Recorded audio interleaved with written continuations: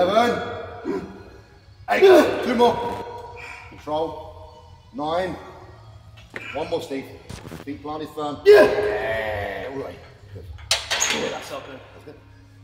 I'll do the same. So I'm gonna I'm gonna reach further in this one, get a spot on the elbow. Yes, sir. So uh, force reps we typically only do on the last set of an exercise, so that we don't overdo the force reps. Two plates? Yeah, let's do two. All right, big step. I'll only step in once you've got to that limit. I don't get in the way. So I, I, I do get asked a lot about training. I'm going to cover this quickly. Um, what you'll notice right now is it's very much a bro split, so it's literally just shoulders today. Uh, my normal split ups usually like dual body parts, so they're normally two things. So it'd be like shoulders and triceps, maybe chest and biceps, back and rear delts, um, quads and hams.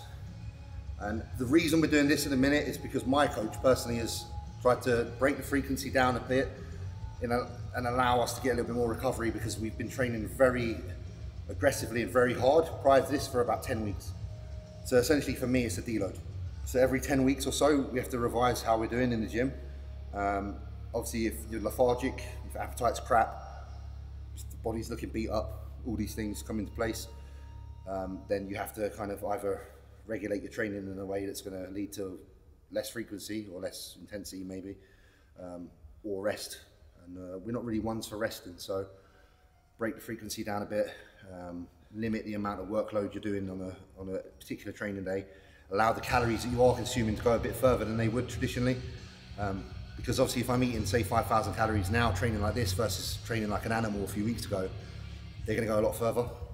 Um, the other thing I wanna add to that as well is that this goes on for as long as you need it going for.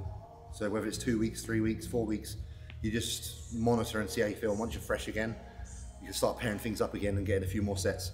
Last week we actually did the same training as we did this week, but it was three sets per exercise on everything.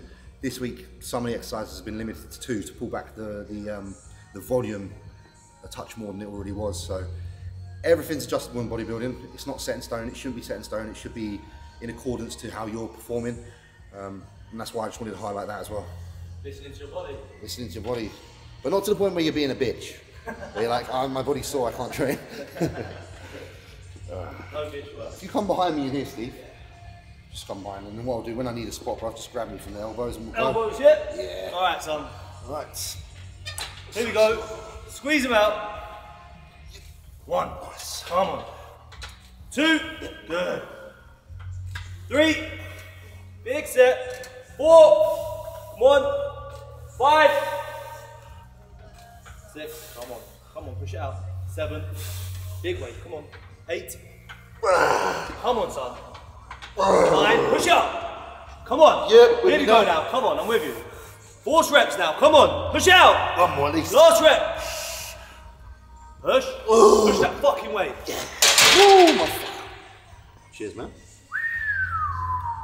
Good. Shoulders complete.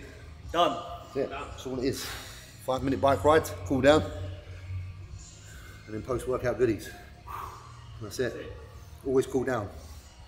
Um, that's another thing. Cool down is quite important for someone who's heavy.